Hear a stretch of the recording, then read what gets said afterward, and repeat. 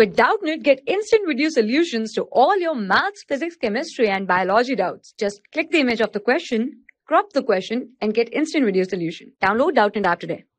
Hello students, the question is a conductance cell was filled with a 0.02 molar KCl solution which has a specific conductance of 2.768 into 10 raised to the power minus 3 ohms inverse centimeter inverse if its resistance is 82.4 ohm at 25 degrees Celsius the cell constant is.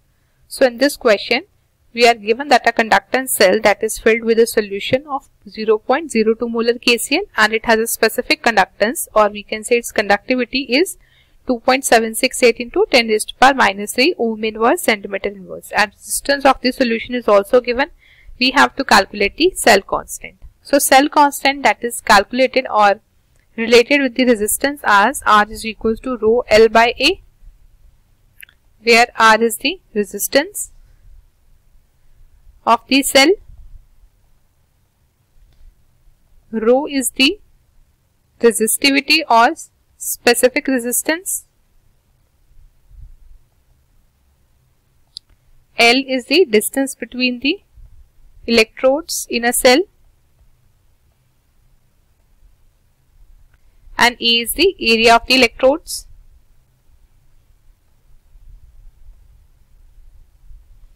Now we are given the value of we are given the value of specific conductance and specific conductance is K that is given 2.768 into 10 raised to power minus 3 ohm inverse centimeter inverse and value of resistance is also given that is 82.4 ohm. So now if we want the resistance, specific resistance and specific resistance is related to specific conductance as 1 by K. It means we can put the value of specific resistance in this formula as 1 by K that is 1 by specific conductance to calculate the value of cell constant that is L by A L by A value that is we have to calculate the value of cell constant. So it will become R is equal to 1 by K into L by A. Now we have to calculate the value of L by A so that will be R into K that is resistance into specific conductance. So it will be 82.4 ohm into specific conductance is 2. 768 into 10 raised to power minus 3 ohm inverse centimeter inverse. So this ohm inverse is cancelled by ohm.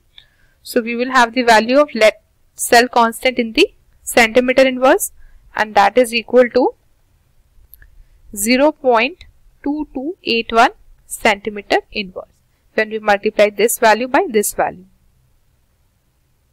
So cell constant is this so correct option to this question is B option 0.2281 centimeter inverse. I hope you understood the solution. Thank you.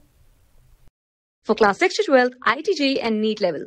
Trusted by more than 5 crore students. Download Doubtnut app today.